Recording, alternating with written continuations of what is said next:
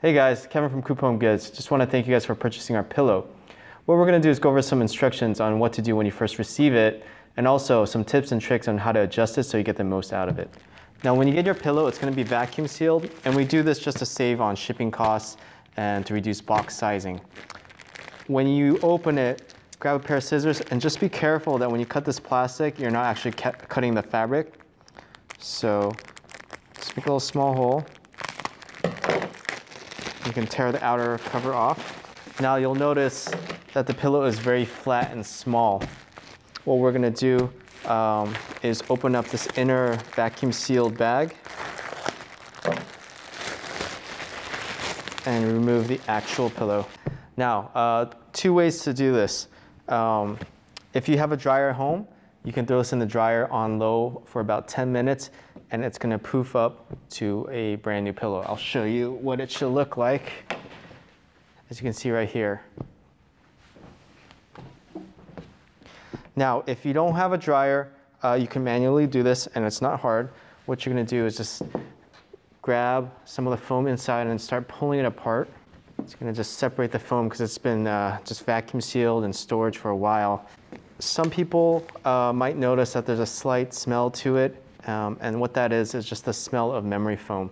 However, there's nothing dangerous about it. All our foam is CertiPure certified, so you have nothing to worry about. Now, as you can see, um, the pillow has regained its loft. Out of the box, uh, the pillow has a lot of loft, and we've done that on purpose.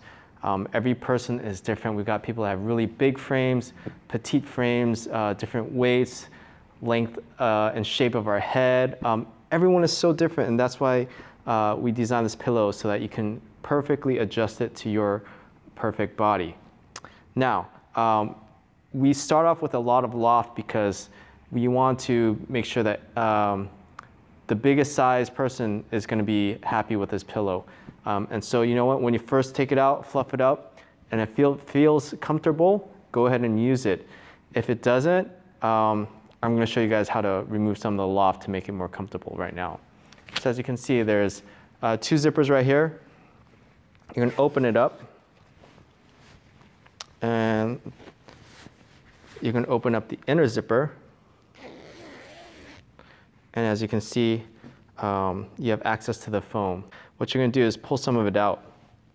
Um, I suggest you guys keep it uh, stored in a Ziploc bag or somewhere safe because uh, who knows, maybe uh, later on you're gonna want uh, just a more firm pillow, more loft, or you're gonna give this pill to, pillow to someone else that uh, has a different frame than you.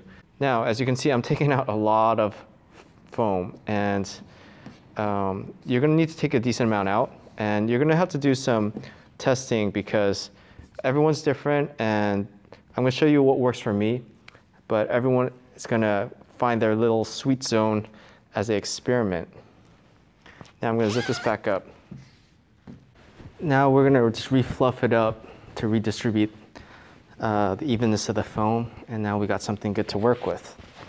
So, uh, depending if you're a, a, back sleeper, a stomach sleeper, or a side sleeper, uh, you need different lofts. Um, so for a stomach sleeper, you tend to want something really low so it doesn't really stress out your back when you're sleeping on your stomach. A back sleeper, you want something low to medium, and a side sleeper, you want something medium to high. Now, the cool thing with this pillow is you can kind of uh, shape it. It's uh, the shredded property of it kind of allows you to create indentations and uh, add support in certain areas to really just custom fit your head. So I'm going to show you one example of how you can do this. Um, so what I'm going to do is going to kind of create a area for your head to kind of sink in. So you're going to kind of just grab the foam and it's kind of knead it to the sides. Now I'm leaving this section because this is where the neck's going to be. But over here, I'm just kind of pushing it ar around and creating a little indent while leaving this. So this will support uh, your neck and now you have a lower area to support your head. And you can adjust uh, how much foam stays there. Um, if you want more, you just, you know, you put some more back in and you just kind of experiment. But now, as you can see, there's a nice indent right here for your head. yet at the same time on this side, there's still support for your neck. So you can shape this however way you want, um, and all you gotta do is kind of just flip it back up, and now you got a new canvas to work with. I'm gonna show you something cool because I'm actually a side sleeper slash uh, back sleeper. Um, I like to actually zone out uh, two different areas of my pillow. So what I'm gonna do is I'm gonna have this side lower uh, for when I'm sleeping on my back. And then during the night, when I roll over to my side, this side's gonna have more support and be higher so that I'm always having uh, the proper support, uh, supporting spinal alignment. Um, and to do that, I'm just gonna knead the foam to the bottom section.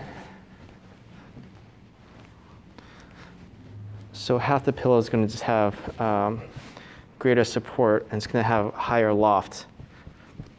And already you can see this top section is a lot thinner and this bottom section is a lot thicker. So kind of using my arm to show the division.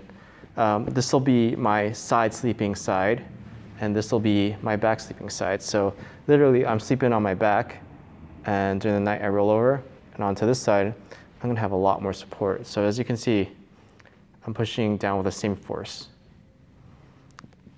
So that's just one ex another example of how you can zone out the pillow. Um, everyone's different. I really encourage you guys to just really experiment, uh, make the perfect fit for you guys. And if you guys have some cool ideas, let us know. If this pillow does not have enough fill, we actually do sell extra fill, um, which we don't think most people will need, but if you really want a really super uh, filled pillow, you can buy more foam on our website. If you have any questions, let us know, and thanks for watching.